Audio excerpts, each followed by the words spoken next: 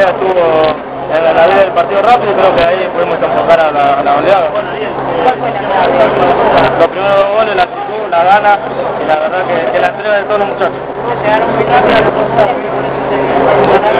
Sí, porque después el equipo tiene que salir a atacar, tiene que buscar el empate y, y a nosotros nos favorece eso, por la costa, por Zacarías, por el flaco y, y por mí en atacar. Ojalá que esta semana podamos pasar los 20, los 24 puntos, creo que, que sería una, una linda marca. ¿Fue uno de tus partidos más esperados? Nada, nada, tranquilo, fue un partido lindo, yo creo que para mí va a haber mucho mejor.